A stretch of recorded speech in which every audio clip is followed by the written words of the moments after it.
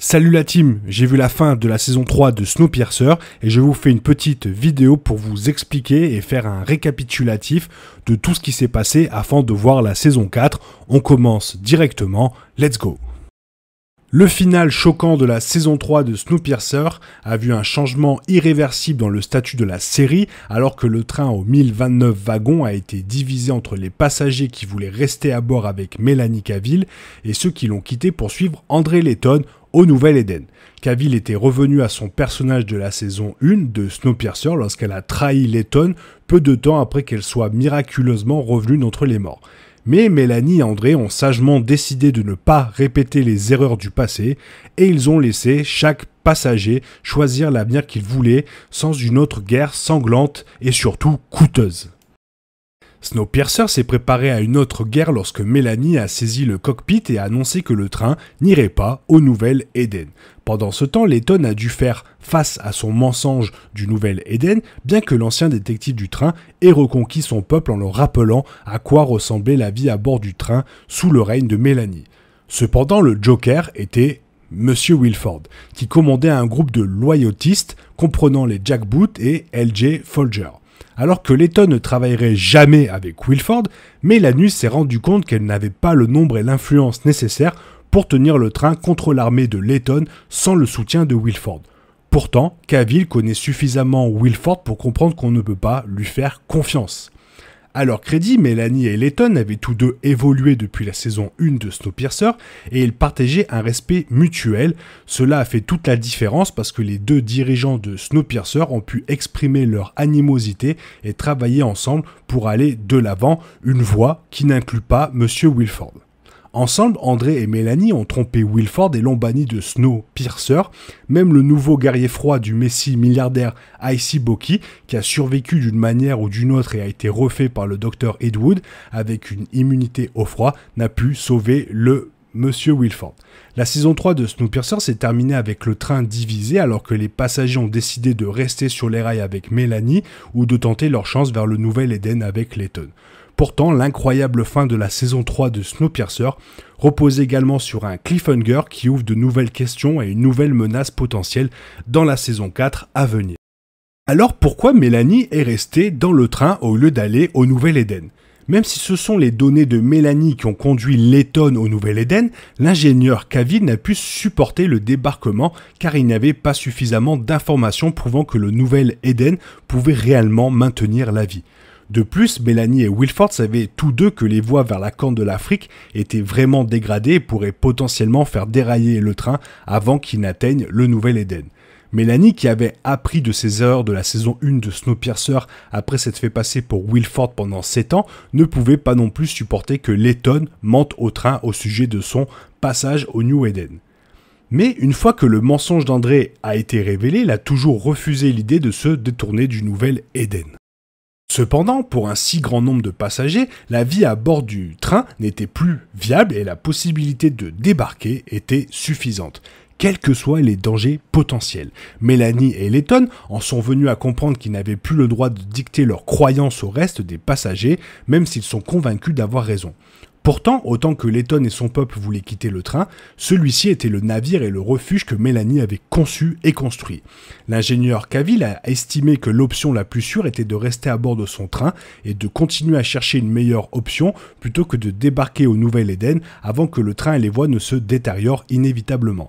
En fin de compte, le train et le Nouvel Éden de Mélanie l'a toujours été. Autre question, Wilford peut-il revenir dans la saison 4 de Snowpiercer et surtout, le fera-t-il? Mélanie et Letton aussi ont intelligemment réalisé que le plan de diviser le train ne pourrait jamais fonctionner si M. Wilford restait à bord. Wilford apporte avec lui un culte de la personnalité et il perturberait tous les plans de Cavill et Letton. Quand ils ont conclu leur accord, Mélanie a compris la promesse malhonnête de Wilford qui n'interférerait pas avec son règne. De plus, les demandes de Wilford qu'il maintienne son confort signifierait que le milliardaire égoïste serait une ponction sur les ressources en diminution dans le train. La seule option pour assurer la survie du Snowpiercer et garantir que le plan de Letton et Mélanie pour diviser le train fonctionnerait était de bannir Wilford. Envoyer Wilford dans le même train de service et avec les mêmes drogues que Mélanie a utilisées pour survivre donne au milliardaire 6 mois à vivre. Est-ce que Sean Ben reviendra-t-il pour la saison 4 de Snowpiercer? C'est une question. On ne sait pas ce que l'acteur et l'avenir de son personnage réservent, mais Snowpiercer vient de ramener Mélanie après l'avoir retirée de la série pendant la plupart des saisons 2 et 3.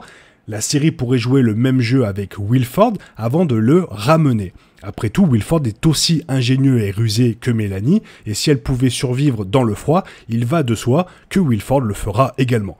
Il est également possible que Wilford, qui garde de nombreux secrets et a généralement une longueur d'avance, connaissait d'autres survivants dans le monde, et il pourrait avoir quelque chose à voir avec le missile qui a été lancé à la fin de la saison 3. Qui est resté avec Mélanie et qui est parti avec Letton Mélanie et Letton ont décidé de diviser le train en deux parties, donnant aux deux côtés la même nourriture, les mêmes ressources et la même chance de survivre. L'ingénieur Cavill garderait la moitié avant du train, tandis que Letton et son peuple prendraient Bigalis. La division des passagers du train pourrait signifier que bon nombre de ces personnages ne se verront pas dans la saison 4, ou ne se reverront peut-être plus jamais. Pourtant, tous ceux qui ont suivi Letton au Nouvel-Éden avaient le profond désir de débarquer et de commencer une nouvelle vie. Heureusement, les visions de Letton étaient justes et la cante de l'Afrique est en effet durable. L'environnement a une température extérieure de moins 5 degrés Fahrenheit, un froid glacial mais toujours viable, et il fait encore plus chaud. Bien qu'un décompte correct de ceux qui sont allés à New Eden avec Letton n'a pas été révélé, il est évident que de nombreux personnages des autres classes ont suivi leur chef. Les colons de New Eden incluent André Letton, Josie, Zara, la petite fille de Letton, Liana, Ruth, Ravière, Roche et sa fille Carly, John, le docteur Edwood, Isiboki et Alex Cavill. Contre la plupart des classes supérieures sont restées sur le train avec Mélanie, y compris son amant Bennett, Miss Audrey, Bestill, Miles, Dr. Pelton, Jill et Tristan, qui est maintenant responsable de l'accueil, avec Alex allant à New Eden et Miles restant sur le train avec Mélanie pour poursuivre sa formation d'ingénieur, Mélanie et Letton ont accepté de s'occuper des enfants de l'autre. Pendant ce temps, dans un moment déchirant, Bess ne pouvait pas aller au Nouvel Eden et laisser derrière elle son amour Miss Audrey. Bess a choisi de lâcher prise avec Letton pour être avec l'amour qu'elle a finalement trouvé et mérité depuis le début. Cela complète également le rachat de Miss Audrey après avoir allumé le train pour redevenir l'amant de Wilford. Avec Bess, Audrey peut être la meilleure version d'elle-même, la guérisseuse spirituelle du train, et vice-versa. Étonnamment, le seul décès dans le final de la saison 3 de Snowpiercer est LJ Folger, qui a péri en s'étouffant accidentellement avec le globe oculaire artificiel de son défunt père Robert. Lila Junior était résolument la fille de M. Wilford et la fille de substitution après Alex, et elle a jeté son sort avec le milliardaire en croyant qu'il reviendrait au pouvoir avec LG à ses côtés. Après que Wilford ait été banni, LG a choisi de rester sur le Snowpiercer dans l'espoir de prendre le pouvoir de Mélanie, son ennemi juré, et elle s'est séparée de son mari John, qui a quitté son épouse pour aller au Nouvel-Éden, LG avalant le globe oculaire de son père et s'étouffant dessus en une justice poétique puisque c'est elle qui avait crevé l'œil au départ. Avec la disparition de Lila Junior, Snowpiercer est désormais officiellement sans les méchants de ses trois premières saisons. À la fin de la saison 3, Wilford a été banni, Kevin est mort et Pike a été tué par Letton. Les deux moitiés de Snowpiercer sont désormais débarrassées de ses pires criminels et fauteurs de troubles. La mort de LG est également ironique puisque c'est sa série de meurtres qui a motivé Mélanie à choisir Letton pour en faire le détective du train, ce qui a déclenché tout l'événement des saisons 1 à 3 de Snowpiercer. Mais surtout, le final de la saison 3 de Snowpiercer se termine sur un saut dans le temps de 3 mois où Mélanie voit un lancement de missile depuis le cockpit du train. Le missile a été tiré d'un point inconnu à l'horizon. A-t-il été lancé depuis Big Alice dans le Nouvel Eden Peut-être, mais toujours peu probable, puisque le train aurait été loin de la côte de l'Afrique et surtout pas pointé vers elle, à moins que Mélanie ne pilote son train vers le Nouvel Eden. Une plus grande possibilité est que le missile ait été lancé depuis un endroit jusqu'ici inconnu qui pourrait contenir plus de survivants. L'introduction d'achat au début de la saison 3 de Snowpiercer a ouvert la porte à plus de personnes qui pourraient encore être en vie ailleurs sur la Terre gelée et la saison 4 de Snowpiercer ajoute de nouveaux membres de la distribution dont Gregg de Marvel Argento Shield. Il y a aussi une chance que Wilford ait pu se rendre à cet endroit et qu'il soit derrière le missile. Le projectile lié au ciel ressemble également à la façon dont la technologie malheureuse a été lancée pour lutter contre le changement climatique qui a provoqué par inadvertance le gel de la Terre. Était-ce une tentative de réchauffer la Terre à partir de l'atmosphère? Puisque Snowpiercer n'est jamais resté statique, la série s'est maintenant réinventée et la saison 4 pourrait se lancer dans une toute nouvelle direction pour Mélanie et Letton et les passagers de ce qui était autrefois le train le plus long de 1029 voitures. Et voilà, j'espère que cette petite vidéo t'a plu. Si elle t'a plu, n'hésite pas à la liker et surtout à t'abonner. Il y a des nouvelles vidéos qui vont débarquer très prochainement. En attendant, je te souhaite une bonne matinée, un bon après-midi, peut-être une bonne soirée ou un bon week-end. Bye bye. Thérapie geek. Thérapie geek. Thérapie geek.